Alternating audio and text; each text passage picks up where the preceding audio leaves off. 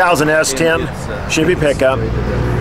The, the, the electric motor is a Warp 9. Huh? It has a full operating manual five-speed transmission, clutch style. Uh, batteries are high power. It's got a Soliton controller, a REAP Systems BMS, and a Brusa charger. It's a DC system, DC system because of the Warp 9. a Warp 9. What was your goal and what were you able to achieve? Our goal was to make a good delivery vehicle that we can run all over the city of Topeka, picking up and delivering. Uh, you can stick six, eight hundred pounds of weight in the back of the bed, go deliver out on the highway, and it'll still run 65 and 70. Come back, send it out again. Uh, we our one of our goals was to try to eclipse the 100 mile range on a single charge. The best to date is 95.4 at average between 45 and 50 mile an hour. So Now that the, uh, you don't have a full battery pack in this thing yet. Is that correct? yeah, we're waiting on a guy to help us finish getting all of our battery pack stuff squared away, and uh, we'll get it. We'll get it, and when it gets here, if you do the math, it should go between 120 and 140 miles on a single charge. Mm-hmm. But right now, you can run it between 60 and 70 every day. Take it home, plug it in. You're ready to go another 60 or 70 without any questions of wasting kilowatts. You just drive it like you would your gas engine. If you want to spin the tires, you spin the tires and go. 60 to 70 miles every day. If you're wanting that 95 or 100, there are some, you have to have very conservative values to drive your vehicle at that to get that kind of mileage. It's just like your gasoline car. If you want it to go 20 miles a gallon, you have to, like an egg on between your foot and the throttle. But if you're just everyday driving and don't care about mileage, you'll get 60 to 70 out of it. You just go. This here is a Soliton controller. Uh huh. Uh, you guys are in love with that Soliton controller, I'll bet. I would say, out of all of them that we've experienced, been around, uh, been associated with, it is superior.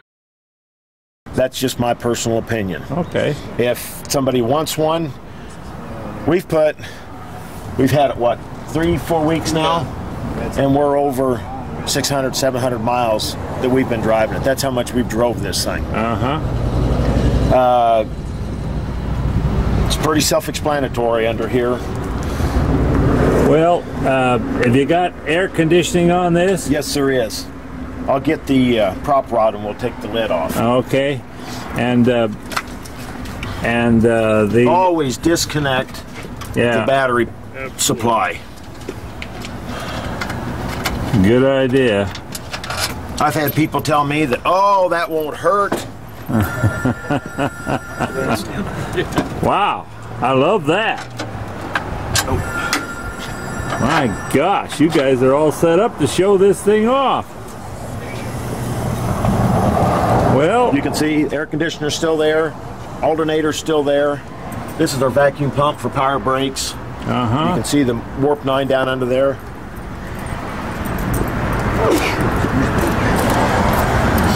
This is our heating system. Heating system across there. Uh huh. Pump runs back up through the heater core, does all the defrosting and all that. So you got a heater, you got air conditioning, you got all the future comforts, and Only- only power steering, power brakes. We took the power steering off the first design, and I will be sticking the power steering back on. I see. Uh, that's the last component that we're going to stick back on it. I see.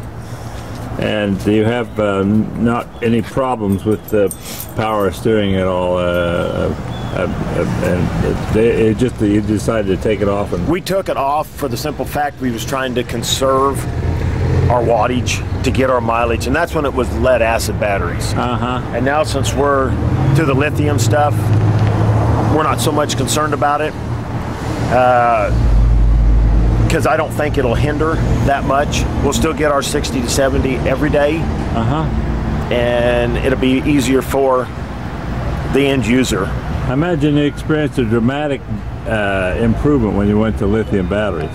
Yes, there was the the discharge rate when you go to accelerate. That's the biggest thing you'll notice. Besides just the range and the mileage that you can you can accomplish, but the acceleration rate to lead acid, there's not as much voltage sag. Uh, it's just better all the way around. How long does it take you to charge this thing up? Between, after 60 to 70 miles, eight hours, plug it in while you're sleeping at night, get it the next morning and go. Wow. Well, I think it'll actually charge in about four and a half to five. I've kind of calculated, but it'll go through and it'll charge up. Then the next time, the BMS shuts it down, equalizes, recharge, equalizes until our voltages and stuff come down. the BMS, that's the battery management system. Yes, not battery monitoring, management. Yeah. There's a big difference there. Amen. So a lot of people think they've got a BMS. Yes, the letters say it's BMS, but there is a difference between monitoring and management. Yep. Can I see inside the? Uh, Yes, the- sir.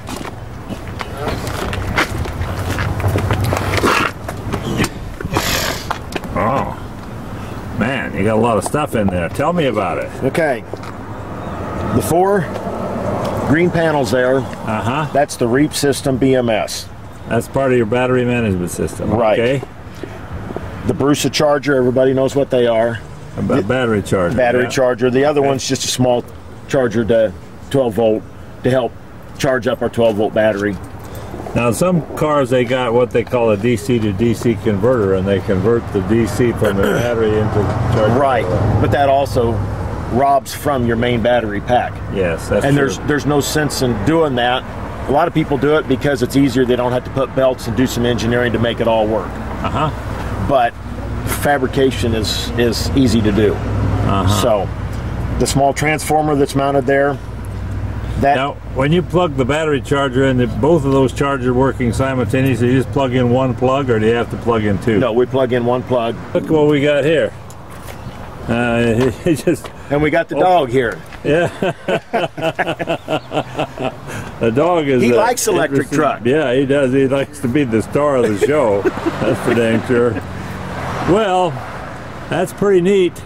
Uh, you got the batteries in the the bed here, huh? Yes, sir. And uh, and you got how many batteries in this thing? There's 48 cells. And you still got room in the bed. Tell me about what you can haul in this thing with this We bed. we haul electric motors. I mean, that's what we are, is electric motor shop. Uh huh. And we haul and deliver repaired as well as new. Uh huh. We've put 600 pounds in it just the other day, and I have to make a delivery to a company, and they're about 10 miles away, and it's all highway. And Uh-huh. it'll still run 65 out on the highway. Let's see now, Harry. Do you have any gauges or anything in here? EMS fired up? Oh, here it is. These three gauges here, that's pack voltage. Mm-hmm. This is motor amperage. Mm-hmm. Motor voltage. oh, That's what we're using to the motor. The charger and the BMS are on a CAN system. Uh-huh. And if the BMS finds or notices a problem, CAN is a communication system. Central Area Network is what that Yeah. is. I think that's the, that's what they call it. Okay. The BMS does not make the battery charger go up in voltage or change its parameters. All it can do is it brings it down in voltage so it'll finalize the charge. But if you have one cell that takes off and jumps up quick like lithium will tend to do sometimes, this BMS reads cell to cell, temperature cell to cell, pack voltage, high cell, low cell, and plus the other how do I say this? Battery health battery amperage uh, ampere hour. It measure to, measures and monitors a lot it has a state of charge meter on that so similar to a fuel gauge everything is out here in the open and they can see what we've done because you stand here and tell them something yeah it's got this it's got that but if you can't see it proof's in the pudding type say That's what I was just going to say. The proof's in the pudding, and we're going to find out when we take a ride. yes we will Hey, Kevin, uh, we're ready to go for a ride. okay You ready to give me a show of what this thing can do. Okay. I'm used to not hearing any noise because I've driven electrics before, but uh, never had. Wow!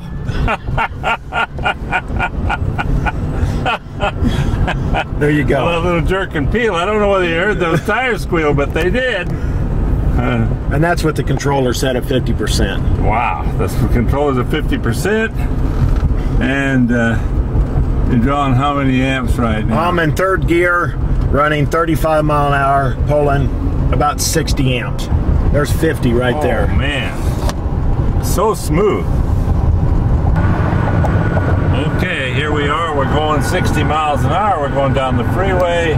63, 64, 190, 108, 90 amps in fourth gear. Uh-huh. Just as sweet as can be.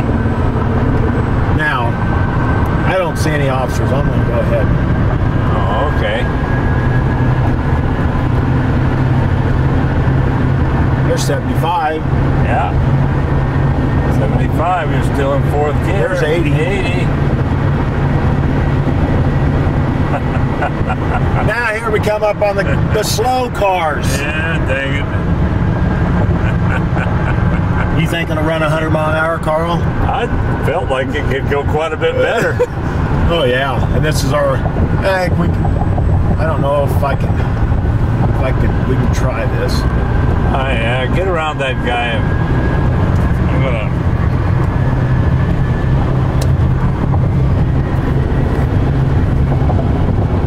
Okay.